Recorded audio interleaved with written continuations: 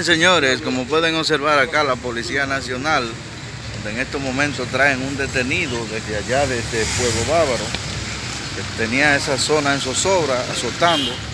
ahí pueden observar, llegaron las autoridades policiales en el día de hoy. Acá pueden observar la persona.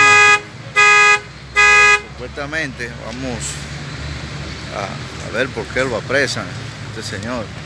¿Por qué lo apresa, mi señor? ¿Por qué te apresan, mi don? Robando. Wow. Oh, pero es un señor ya. eh. Señores, ahí pueden observar.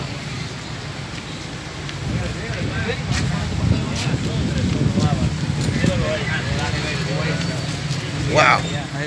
Don, ahí está el detenido. ¿Qué nos puede decir? Tiene Polo Abro totalmente azotado. Sí. Sí, robando, entrando, abriendo las puertas, robándose tanque de gas, bicicleta, de todo. Wow. Sí, sí. ¿Cómo ven ustedes el trabajo de la policía en el día de No, hoy? muy rápido, muy efectivo, muy rápido. Sí. Este hombre está acabando con todo en todos lados. Bien. Este hombre, hay que hacer algo con él. ¿Qué ha robado él allá en Pueblo Bávaro? Tanque de todo. Hasta un inodoro te llevó.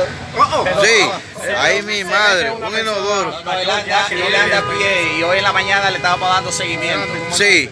Yo tengo videos donde él, donde él está abriendo todas las puertas de, de Polo Ávaro. Y Excelente. le avisé a, a uno de los vecinos afectados y el vecino de una vez lo abordamos y, y lo maneamos, lo agarramos, ¿me entiendes? Pero. La intención de él era meterse en, alguna de las casas. De hecho, él se entró pero no encontró nada.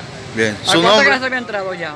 Al menos que yo conozca eh, o que he escuchado, sé de unas tres o cuatro casas que se han metido por los agua. Bien. Llamaron las autoridades y de una sí. vez acudieron allá. Sí, de una vez la autoridad llegó y aquí lo tenemos el hombre. ¿Tu nombre es? Félix Villavicencio. Muchísimas gracias, Félix. Sí, sí.